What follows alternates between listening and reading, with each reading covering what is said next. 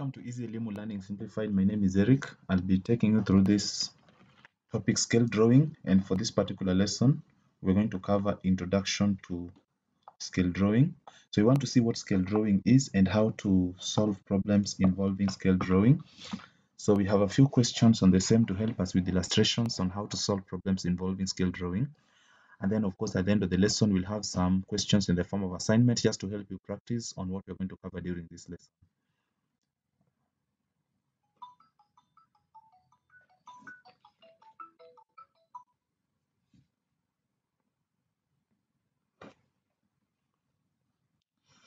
So when you talk about scale drawing, we we first of all look at what is a scale.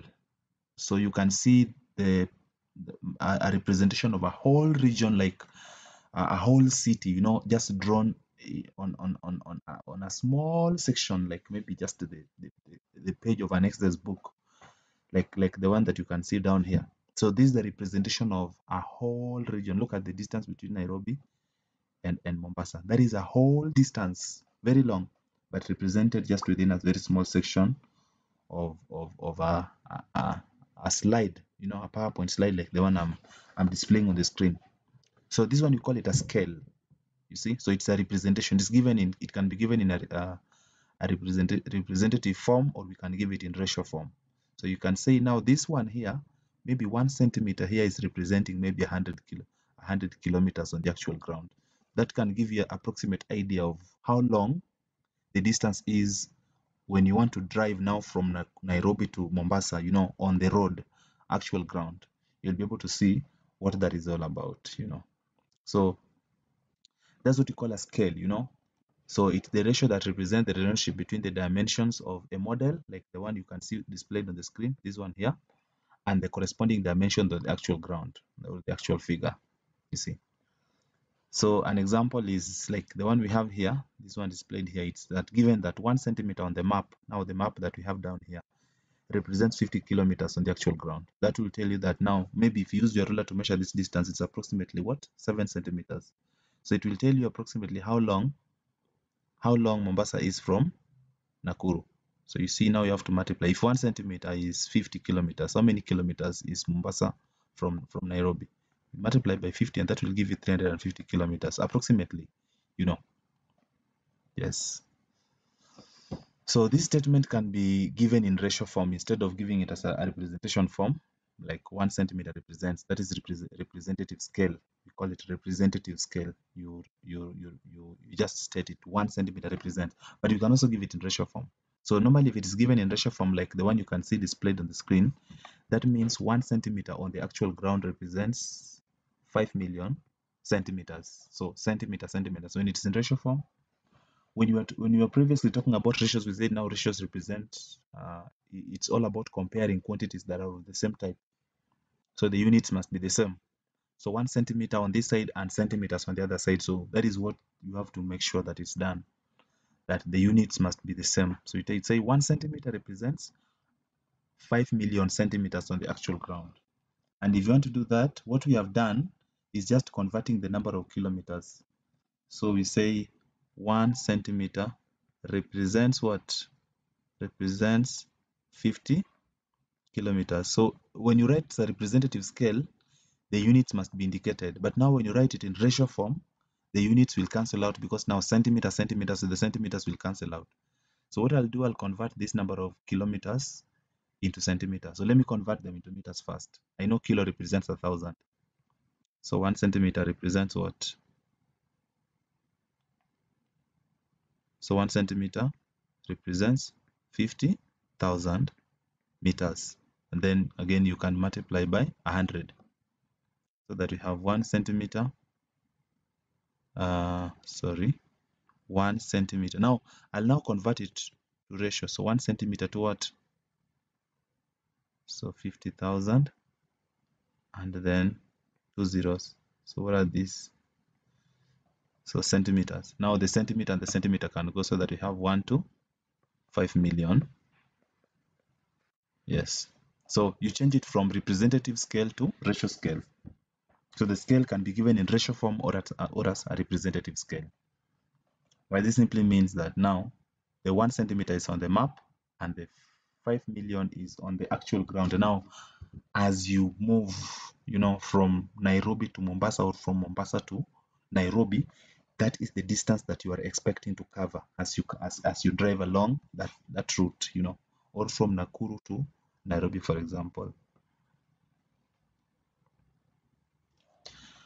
So we have a, an example here, a scale of on a map or our map is given in a statement uh, statement form. One centimeter represents four kilometers. Convert this to ratio form. So as I said, you just convert the four kilometers into centimeters. So one centimeter to four kilometers. So let me convert to meters first. So one centimeter to. So when the units are, are, are, are different, you still have to write them. I can't write one is to four equals to one is to no, no, no. I'll have to convert them first. So 4,000 meters, and then I multiply by 100 to change from meters to centimeters. My ultimate goal is to convert both to centimeters. Left hand side is already in centimeters, so I don't need to convert. So 1 centimeter to 4, then you add two zeros, multiply by 100 centimeters. And now you can cancel the centimeters, centimeters can cancel out so that this is 1 is to forward 400,000.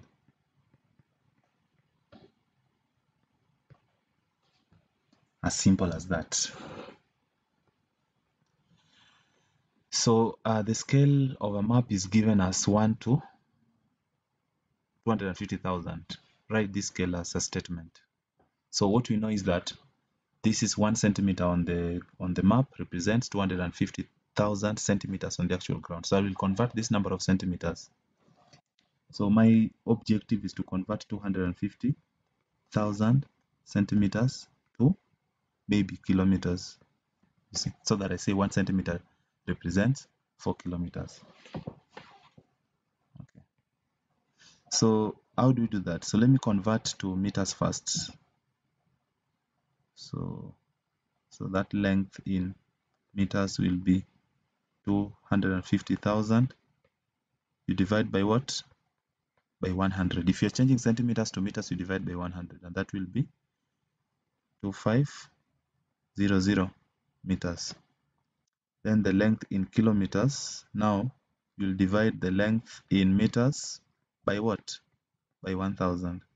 So that is 250 or 2500 divided by 1000 and what do we get 2.5 what kilometers so the representative will say one centimeter on the map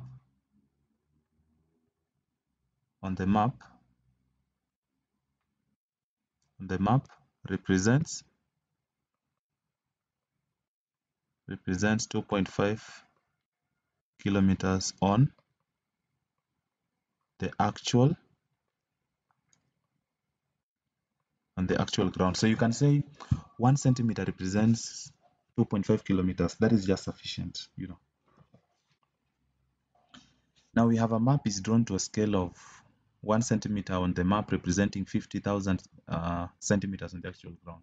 What is the actual distance for what is the actual distance for distance on the map given us? So this is the distance given on the map. You see? So we want to see the actual distance of the ground. So I'll, I'll have to convert change this to so I'll change this to representative. So one centimeter represents what? So so 500 what 500 meters see so that maybe I can give the actual distance in, in terms of meters. So you can decide to convert it further to kilometers so that you have one centimeter represents, know, you divide this by 1000 will be 0.5 kilometers. What about the 12.7 centimeters on the map? They will represent what measurements on the actual ground. So it's just a matter of multiplying the two.